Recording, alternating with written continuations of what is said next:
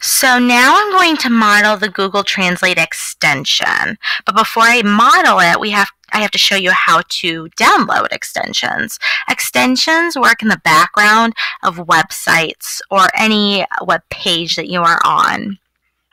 So the first thing we're going to do is go to the launcher icon in the lower left, which is that little circle. And we want to find the web store, but if it's not on that first row, click the up arrow. And if it's not on this first list, click the second circle that's not filled in. So I know mine is right there. So I'm going to actually right click on this if I'm on a Chromebook and I'm going to pin this to my shelf down here because I'm going to use this a lot because I love extensions because they make my life easier. So I'm going to go to the web store, which is also the URL chrome.google.com slash web store. And here I am going to type in the search Google Translate. And I know it's an extension, so I could even um, select that or I could just have it filter through extensions, themes, and apps. I want the one that was created by Google. And I'm going to click Add to Chrome. So if you notice right now, next to my address bar, I only have my video casting Screencastify extension. So you're going to notice that this icon is going to appear to the right of my Screencastify. You can always change the order of them just by dragging. So I'm going to click Add Extension. So now my Google Translate extension is to the right, as well as my Screencastify that I'm using, which you can see I'm recording because of the red record uh, light in the corner. So I can close my web store because I downloaded the extension. So Google Translate works with web pages. So I'm just going to go to WBNG.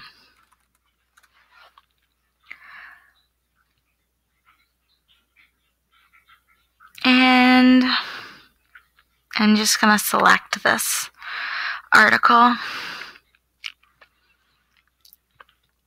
So, if I hover over Google Translate extension upper right hand corner, it says left click to translate, right click for options. So I want to right click first because I want to select my translations. Oops. There we go. So I'm going to click options.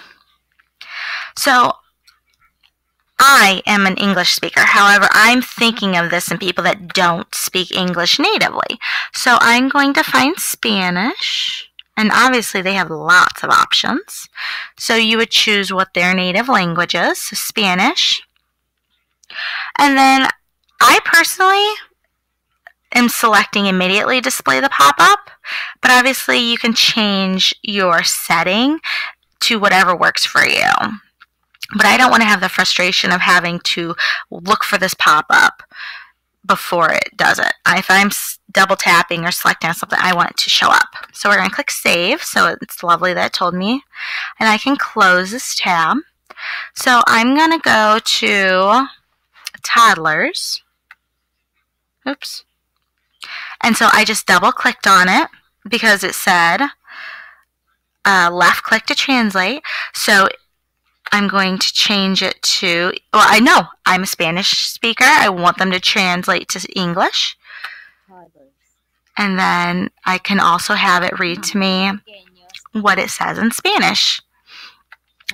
So I should hopefully be picking up more vocabulary through this. Another way to use this, you can also um, highlight and it will translate it as well. And again, read it to me if I click on the speakers.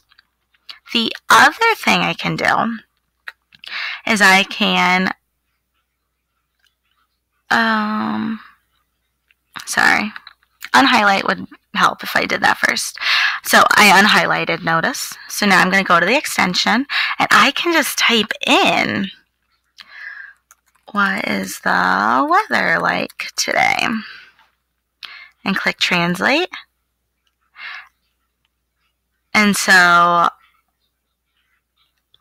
there it is in English, there it is in Spanish. They would probably be typing in Spanish versus English, but using their native language. And so these are two ways just to use the Google Translate extension. And remember, this works with web pages, not like Google Docs, because Google Docs has its own Translate add ons um, to use.